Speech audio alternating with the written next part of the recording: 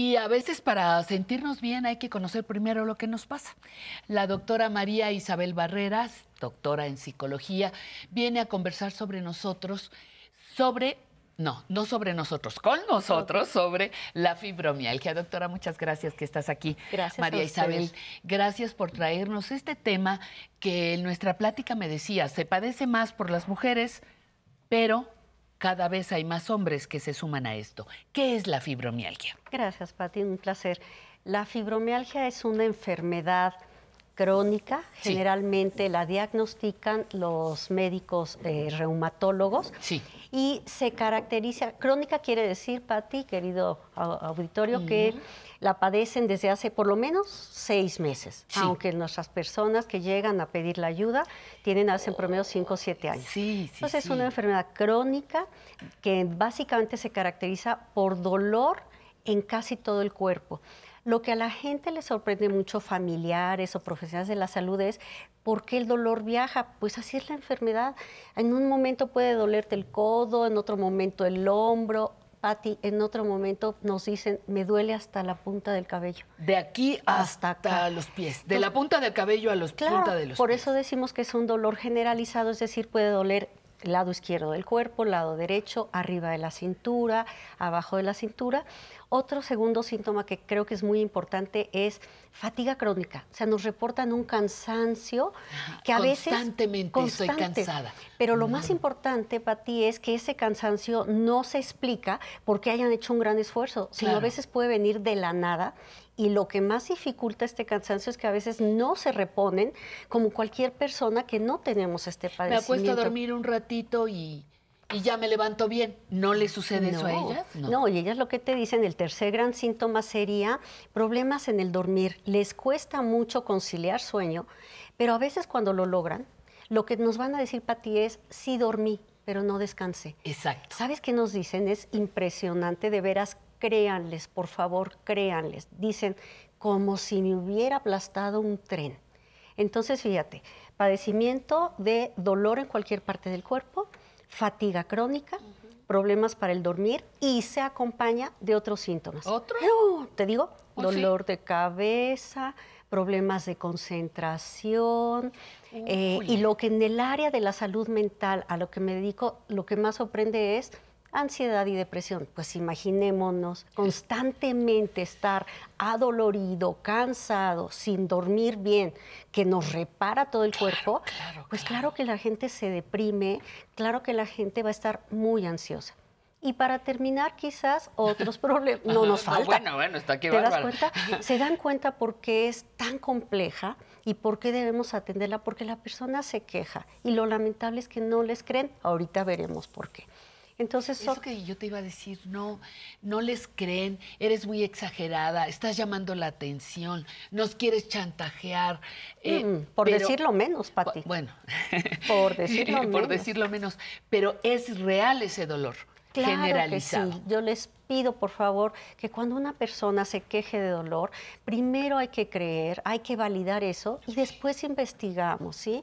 Porque desafortunadamente están viendo cómo la enfermedad es tan compleja, ampliamente todavía desconocida por la población en general y por el sector de profesionales de la salud, Sí, específicamente a veces médicos. Entonces, claro que hay que creerles porque también caen en depresión y en ansiedad. Entonces, si de por sí es compleja, ahora también ya los tenemos ansiosos, las tenemos deprimidas. Sí, que, que ya son otras enfermedades que se van sumando. Claro. Daños colaterales te dirían por Así ahí, es. pero se van, se van es. sumando. Así es. ¿Por qué se ha centrado más, en teoría, en las mujeres que en los hombres? Mira, todavía no hay como causas muy específicas. Yo diría que son esto de lo que falta investigar más, pero evidentemente, como la enfermedad tiene que ver con interacciones entre nuestro sistema nervioso, el hormonal, el inmunológico, Sí. claro que hay algunas pequeñas diferencias en sistema nervioso, hombres, claro. hormonal, ni qué decir entre mujeres y hombres.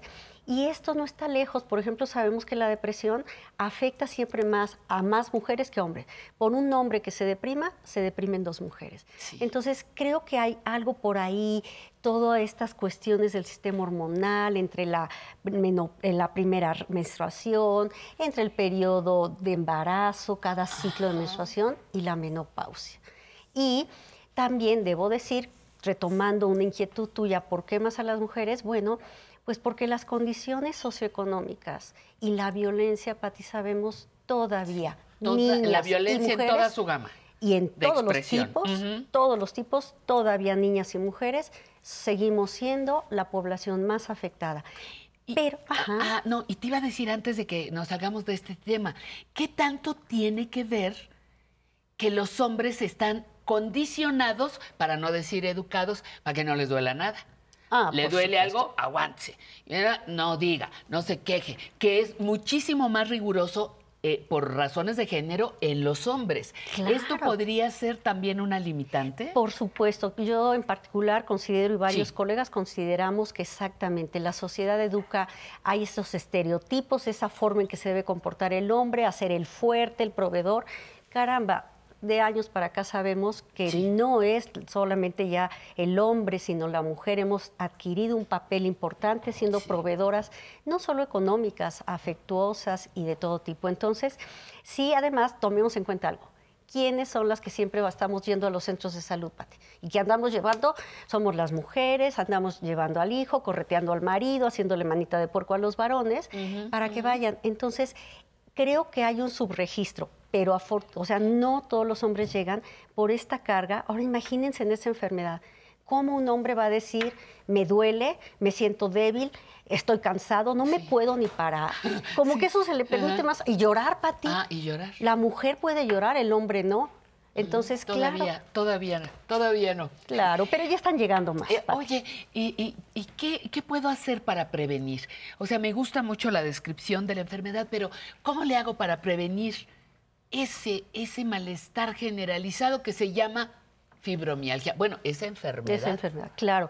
Mira, como muchas enfermedades hay predisposición genética, quiere decir que alguien en la familia hay que buscar en la línea materna, paterna, papás y hasta abuelos, porque muchas de las familias con alguien con fibromialgia, fíjate que ya la abuela la tenía o algo, pero era el típico la abuelita Dolores está viejita, pero además se quejaba de todo.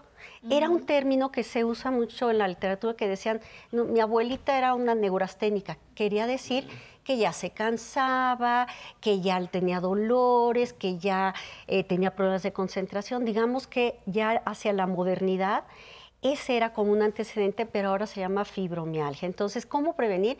Uno, conocer la genética conocer papá, mamá, historia, abuelos, hasta abuelos, de qué han enfermado Pati y de qué han muerto, porque eso nos da señales. Y la otra es fomentar eh, ambientes afectuosos, evitar abusos, ya lo veremos más adelante.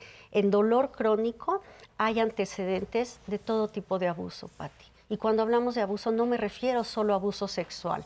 Es indignante y lamentable que vengamos de familias en donde a veces la familia, los seres que nos deben cuidar y proteger, a veces son los que más dañan a los niños. Entonces hay historias de todo tipo de abuso sexual, físico, emocional, que los niños y las niñas ya son víctimas de todo eso y eso va influyendo en su sistema nervioso y todo y les hace vulnerables a que luego venga para ti un disparador, un accidente, alguna crisis y se destapó la enfermedad. Ese dolor de mi alma, ese dolor de mi corazón, guardado, a lo mejor disimulado. Reprimido. Reprimido, ocultado, un día, ¡boom!, me brota con una fibromialgia. Claro, es que a veces las personas creemos que vivir efectos dolorosos, desagradables. Ah, ah, olvídalo, el tiempo resuelve todo. No pasa. ¿Y qué tal los secretos familiares?